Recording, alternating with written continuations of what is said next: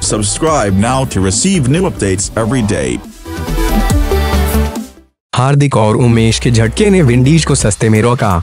Team India का सारा ध्यान इस समय वेस्ट इंडीज की धरती पर पाँच मैचों की वन अड्डे सीरीज़ पर कब्जा करने पर है। विंडीज की धरती पर यह वन अड्डे में उसकी पांचवी सीरीज़ जीत होगी।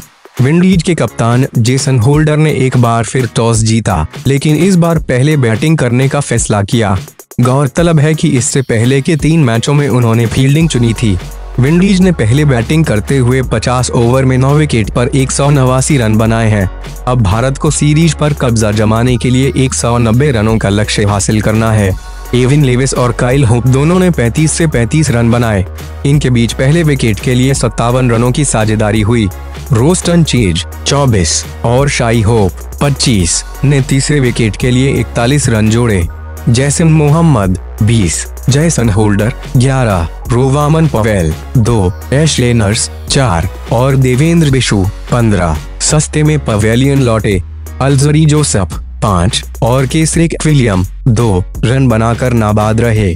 वहीं भारत की ओर से गेंदबाजी में हार्दिक पांड्या और उमेश यादव ने तीन से तीन विकेट तो कुलदीप यादव ने दो विकेट झटके। टीम ने इस दिशा में कदम भी बढ़ा दिए हैं। वैसे सीरीज़ की शुरुआत में टीम इंडिया का लक्ष्य विंडीज की धरती पर वनडे में पहली बार क्लीन स्वीप करना था लेकिन बारिश की मार्च ने उसे इससे वंचित कर दिया था फ़िलहाल वह सीरीज़ में दो से शून्य से आगे है और नॉर्थ साउंड एंटीगा में खेले जा रहे चौथे वनडे में वे जीत दर्ज करके अजय बढ़त हासिल करना चाहती है Thank for watching. Subscribe now to receive new updates every day. And don't forget to drop a like, leave a comment. Bye.